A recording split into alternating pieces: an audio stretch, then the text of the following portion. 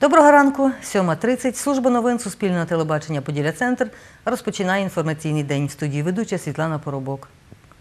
За минулу ніч, повідомляє прес-секретар управління патрульної поліції області Роман Мартинюк, на автодорогах Н-03 Житомир-Чернівці та М-12 Стрий Знам'янка патрульні нетверезих водіїв не виявили, не було й дорожньо-транспортних пригод. В обласному центрі патруль виявив водія з ознаками алкогольного сп'яніння. Минулося без дорожньо-транспортних пригод.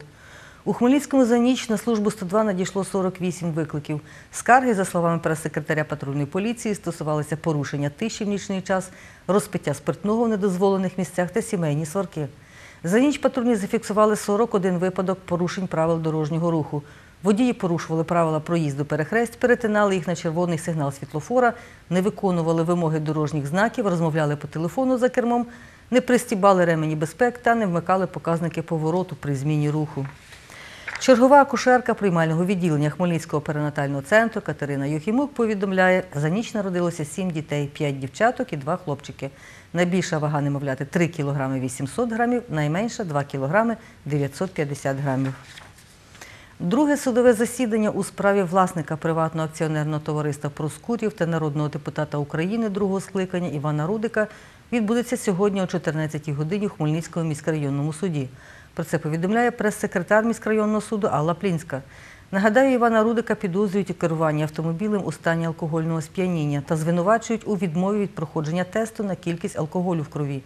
На судовий розгляд 27 листопада водій не з'явився. Підозрюваному загрожує позбавлення права керування транспортним засобом на один рік з накладенням штрафу у розмірі 600 неоподатковуваних мінімумів.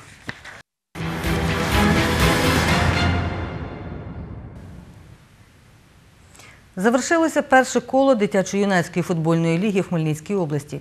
Про це розповідає заступник голови Хмельницької обласної федерації футболу Микола Кузнєцов.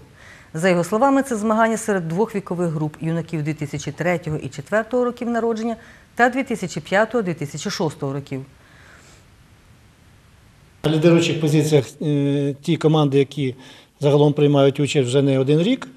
Ось е, це дитячо-юнацький футбольний, е, футбольний клуб Поділля, дитячо-юнацька е, спортивна школа номер 1 місто Хмельницьке і Нетішин. Е, Також е, добре почали ці змагання е, команди е, ДЮСШ номер 2 міста Кам'янець-Подільського і команда Патріот. Е, Це військовий ліцей, які в минулому році тільки взяли участь в наших змаганнях, а вже е, виступали в фіналі її частині.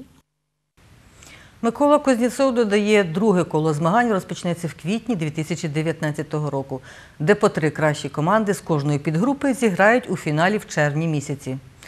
Ефір суспільного мовника Поділля Центр продовжить твій ранок, а ми з вами зустрінемося рівно о 8 годині.